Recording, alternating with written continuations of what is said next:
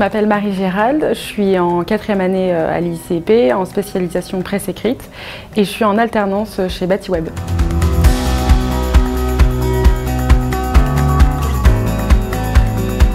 J'ai choisi de me spécialiser en presse écrite web parce que je me suis rendu compte au fur et à mesure de mes quatre années que je me sentais beaucoup plus à l'aise en presse écrite et en web plutôt qu'à la télé en radio.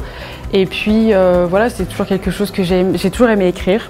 Donc je me suis dit que logiquement, ben, tout était fait pour se rassembler en presse écrite.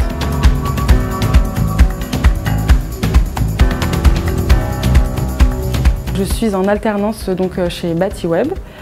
Euh, en tant que journaliste, rédactrice web.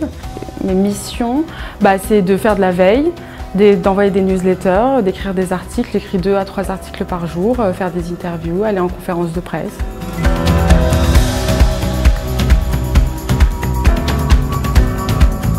Alors le cours qui m'a le plus marqué, c'est le cours de Brain Content, euh, parce qu'on n'a jamais fait de com bah, en journalisme, forcément parce qu'on est en journalisme, mais là c'était du journalisme pour des marques.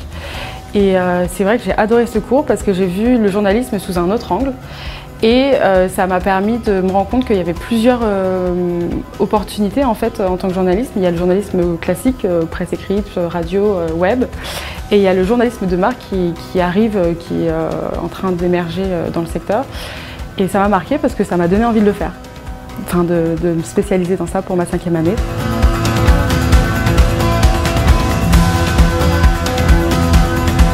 Le projet dont je suis le plus fière aujourd'hui, c'est ma rencontre avec euh, une camarade de classe à moi qui s'appelle Maud Alexia. Parce que en apprenant à se connaître au, travers de, notre école de l'ICP, on a eu envie de construire, de créer un média ensemble, un podcast plus particulièrement.